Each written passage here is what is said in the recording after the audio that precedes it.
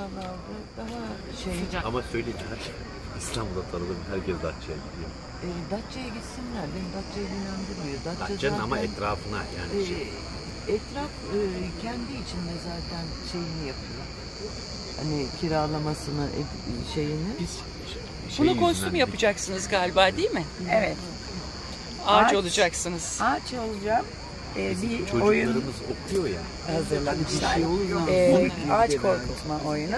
Meyve vermeyen bir ağacı baltayla korkutacaklar.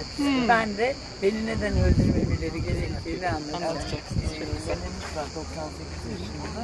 İstanbul'da onu hiçbir zaman bırakamıyor. İşte annem de oturuyordu. Annem sene kaybetti. Çok yalnız